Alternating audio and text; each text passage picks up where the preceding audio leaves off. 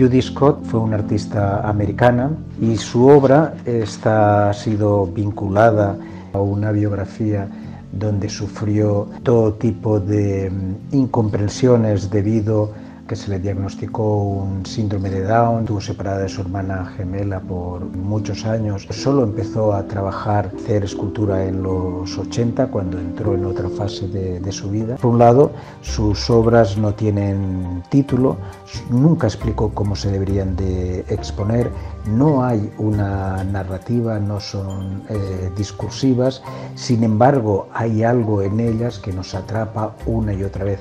Y nos atrapa porque tiene un sentido enigmático, tiene un elemento que hace que nunca podamos eh, acabar de, de entenderlas.